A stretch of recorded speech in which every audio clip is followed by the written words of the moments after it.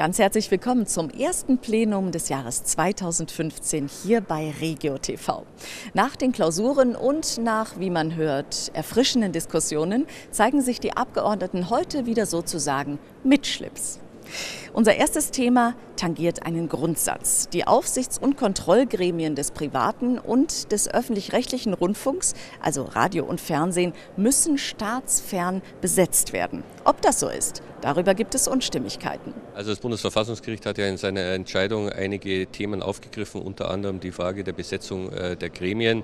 Wir haben da in Bayern ja schon wichtige Voraussetzungen eingehalten und jetzt gilt es, das auszuwerten und abzuwarten. Deswegen ist der Antrag heute auch ähm, nicht zu behandeln, weil wir noch Zeit brauchen, um die Dinge auch vernünftig äh, zu sichten und dann die dementsprechenden Schlussfolgerungen daraus zu ziehen.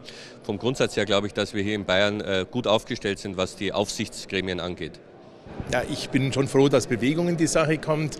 Wir haben momentan das Problem, dass zu viele Politiker aus der Landes- und Kommunalpolitik in diesen Gremien sitzen.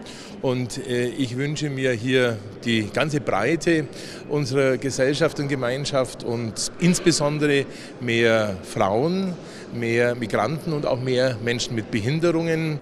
Bei unserem zweiten Thema geht es um Pflege. Neben einer besseren Finanzierung der Ausbildung soll auch die Qualität der häuslichen Pflege erhöht und kontrolliert werden, damit das Pflegegeld auch den Alten zugutekommt. Durch das Pflegereformgesetz, das der Bund beschlossen hat, ist ja jetzt schon einiges passiert, wo man den Familienangehörigen auch mehr Zeit gibt, wo bessere finanzielle Ausstattungen zur Verfügung gestellt werden.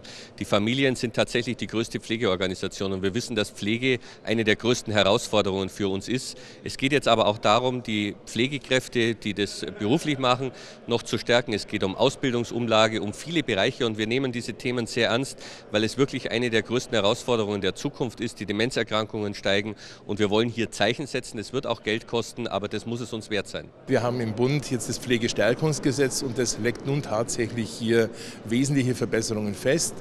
Äh, die die Aufstockung der, der Pflegekräfte in den stationären Einrichtungen ermöglichen es jetzt den Angehörigen, dass sie auch äh, Plätze in der Tagespflege, in der Nachtpflege, aber auch in der Kurzzeitpflege buchen. Auch Dinge wie beispielsweise das Einkaufen oder Behördengänge werden hier wesentlich besser für die Angehörigen geregelt.